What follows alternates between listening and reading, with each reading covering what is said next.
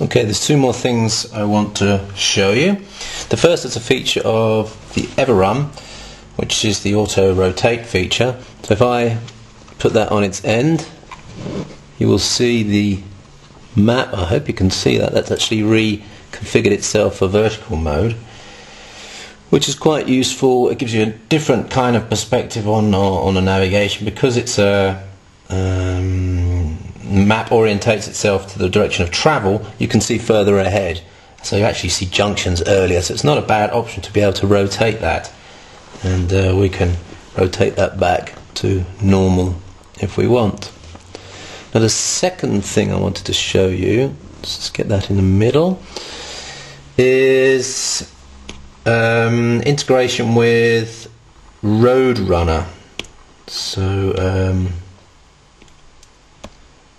to hello menu exit from that and then start up Roadrunner. Now Roadrunner is a skinning package that allows you to uh, have finger-based control for things like Winamp, um, navigation. There's some communication options and uh, various other things as well.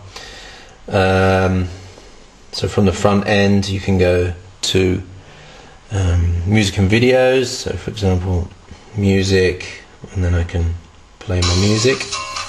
That uses Winamp in the back end. What we can also do is integrate the navigation as well. So what that uh, does is it skins PC Navigator, puts it inside Roadrunner. So now we've got uh, road running, be running behind.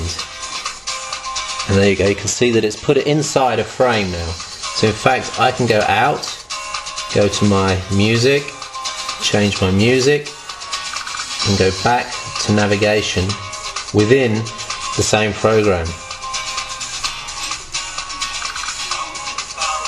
The only thing I don't like about this is that it does take up a rather large amount of screen space now, to be honest, if you're, let's just turn that down. If you've got a route set up and you're just following a route, that's probably good enough because when you think about a pocket PC or a smartphone with a 3 inch screen, that's about as big as it is anyway. So it's really not bad. The other thing that works over the top is the gestures. So I can I actually, sorry, I have to do it over here. Otherwise it registers on the screen. Next track, I've only got one track loaded.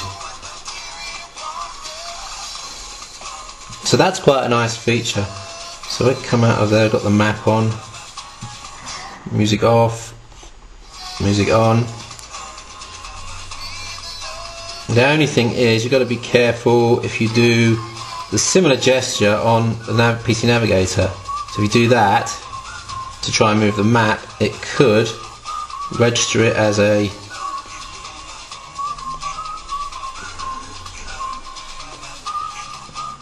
yeah, there you go. Could register it as a music off gesture. So you have to be a bit careful with that. When you play with it, maybe gestures uh, are better switched off in this. But of course, Roadrunner gives you other things like uh, weather information, and there's a hell of a lot of uh, other options that you can you can do. You can skin phone applications. You can skin Explorer. There's the weather. Um, let's go back to the main menu. There is a simple browser option which skins Explorer. So go to web browser. And that should fire up Firefox and, and put the skin around it. At the moment you can see through to the applications that were in the background. So it's starting up Firefox. Hopefully it's going to skin that. Uh, didn't skin it. Hmm, it has been working for me, but I've been messing around with this a lot, so I might need to change that configuration to get that working properly. So that's quite a nice, uh, nice way to use PC Navigator, skinned inside Roadrunner. Okay, I'm going to take this out in the car uh, a bit later on when it's darker and uh, give you a quick demo in the car.